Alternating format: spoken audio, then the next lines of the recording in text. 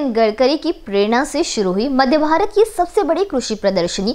Agrovision का आयोजन इस साल 24 दिसंबर 2021 को रेशिमबाग ग्राउंड नागपुर में किया जा रहा है। ऐसी जानकारी एग्रोविजन फाउंडेशन के अध्यक्ष रवि बोरटकर द्वारा आयोजित पत्रकार परिषद में दी गई। एग्रोविजन का उद्देश्य किसानों को नई तकनीक, संबद्ध व्यवसायों के बारे में नवीनतम जानकारी देना है, ताकि वे अपनी आय बढ़ा सके और लाभदायक खेती का आनंद उठा सके। इस असाधारण आयोजन की तैयारी जल्द पूरी होने वाली है, जिसमें राष्ट्रीय कृषि प्रदर्शनी, किसानों के लिए कार्यशालाएँ दिन भर के सेमिनार शामिल है। प्रदर्शनी के लिए नियोजित गुम्बदों के लिए नौ हज़ार वर्ग मीटर की जगह ली जा रही है, जबकि विशाल मशीनरी के लिए चार हज़ार वर्ग मीटर का हैंगर लगाया गया है। कार्यशालाओं के लिए 750 वर्ग मीटर के दो हॉल स्थापित किए गए हैं और 1200 वर्ग मीटर ज़मीन पशुधन प्रदर्शनी के लिए समर्पित है। कुल 15000 वर्ग मीटर क्षेत्र पर प्रदर्शनी का आयोजन किया जा रहा है। किसानों के पंजीकरण के लिए दो काउंटर बनाए गए हैं। 24 दिसंबर 2021 से शुरू होने वाली राष्ट्रीय प्रदर्शनी में तीन सेमिनार और विभिन्न विषयों पर विस्तृत कार्यशालाएँ हैं।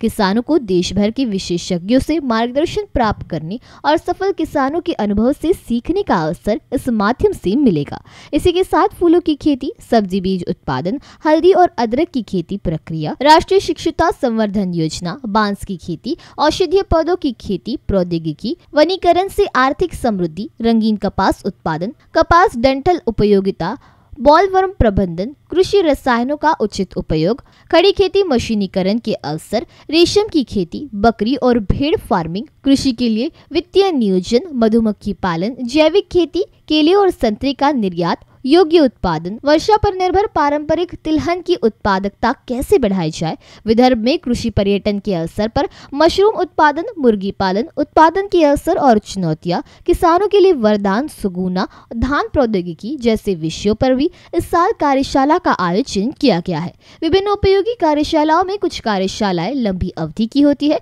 जबकि कुछ छोटी होती है। जहाँ गुबंदों से 350 से अधिक स्टॉल का प्रदर्शन किया जाएगा। इसके साथ ही बीज उर्वरक, कृषि यंत्र, आधुनिक मशीनरी, नारवाड़ और अन्य बैंकों तथा कृषि संबंधित जानकारी देने वाले सरकार प्रणीत विभाग भी प्रदर्शनी में मौजूद रहेंगे। इस साल यूपीएल एस एग्री, पतंजलि पिया इंडस्ट्रीज़, महीको और कई अन्य बड़े संगठनों ने अपनी भागीदारी की पुष्टि की है। इसके अलावा किसानों की भारी मांग के अनुसार पशुधन प्रदर्शनी आउटलेट भी उपलब्ध कराया जाएगा। एग्रोविजन में कुल तीन सेमिनार आयोजित किए गए हैं। यह सेमिनार डेयरी क्षेत्र को बढ़ावा देने के लिए विदर्भ में डेयरी व्यवसाय के अवसर, विदर्भ में ताजे पानी के मत्स्य पालन के अवसर और कृषि प्रौद्योगिकी और मूल्य संवर्धन आदि विषयों पर होंगे। संगोष्ठियों का आयोजन खेती में रणनीतिक परिवर्तन का मार्ग प्रशस्त करने और किसानों की आय को समग्र रूप से बढ़ाने के उद्देश्य से किया जाता है।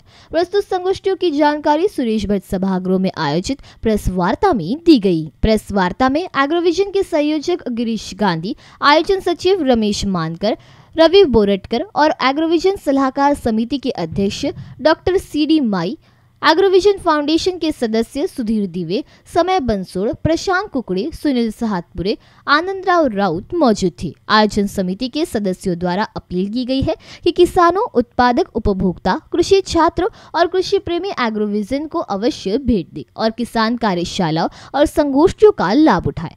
एग्रोविजन का उद्घाटन 24 दिसंबर 2021 को सुबह 11 बजे एग्रोविजन के मुख्य प्रवर्तक और केंद्रीय सड़क परिवहन एवं राजमार्ग मंत्री नितिन गडकरी और केंद्रीय कृषि और किसान कल्याण मंत्री नरेंद्र सिंह तोमर के हाथों किया जाएगा। इसके साथ ही केंद्रीय पशुपालन, मत्स्य और डेयरी मंत्री पुरुषोत्तम रूपाला, महाराष्ट्र विधानसभा के विपक्ष नेता देवेंद्र फडणवीस, कर्नाटक के सूचना प्रौद्योगिकी, उच्च शिक्षा विज्ञान और प्रौद्योगिकी मंत्री अश्वथ नारायण सियन और केंद्रीय उर्वरक रसायन नवीन एवं नवीकरणीय ऊर्जा राज्य मंत्री भगवंत खू आदि समारोह में उपस्थित रहेंगे। आपल्याकडे व्हर्टिकल फार्मिंगचं लोकांना हे बघता येईल. त्यासोबतच आपण जे सेन्सर टेक्नॉलॉजी म्हणतो ज्याच्यामुळे पाणीमध्ये पाणी जमिनीमध्ये पाणी किती आहे हे आयडेंटिफाय करून इरिगेशन करता त्याचा फायदा होतो. ड्रीप इरिगेशन असेल किंवा साधं इरिगेशन असेल तर ते इथे सेन्सर्स इथे डिस डेमॉन्स्ट्रेट करतील. तसंच आपल्याकडे एक जी मिनी राईस मिल आहे जी शेतकऱ्यांना देखील काम उपयोगी पडू शकते. त्या मिनी राईस मिलचं इथे म्हणजे प्रात्यक्षिक होणार आहे. आणि अशा नवीन ज्या छोट्या कंपन्या आहेत ज्यांनी आय टीमध्ये काय नवीन केलेलं आहे म्हणजे आय टी वापरून शेतकऱ्यांकरता कृषीमध्ये जे फायदा होईल असं त्यांचे जे काही लहान लहान प्लॅटफॉर्म्स आहेत ते त्या कंपन्या इथे बऱ्याच आहेत. द्रोण म्हणजे मला वाटतं सगळ्यात मोठं आकर्षण जे राहील ते द्रोणचं राहील. शेतीमध्ये द्रोण वापरून फवारणी किंवा इतर कामं कसं करायची तर आपल्याकडे तीन चार वेगवेगळ्या प्रकारचे द्रोण इथं राहणार आहेत. त्याच्यामध्ये दोन तीन कंपन्या आहेत आणि एक कृषी विद्यापीठ आहे राहुरीचं ज्यांच्याकडे द्रोणची लायब्ररी आहे. तर ते देखील आपले ड्रोन इथे डिस्प्ले करता आणणार आहेत. अशा पद्धतीने बरेच लहान लहान इनोव्हेटर्स असतील काही मोठ्या आपल्या रिसर्च इन्स्टिट्यूट आहेत जसं सी एस आय आर असेल किंवा आय सी आर असेल यांच्या लॅब देखील इथे आपल्याकडे त्यांनी केलेलं संशोधन डेमॉन्स्ट्रेट करणार आहे कॅमेरा पर्सन राजकुमार मोहडके साथ Kshitija Deshmukh B C N news Nagpur.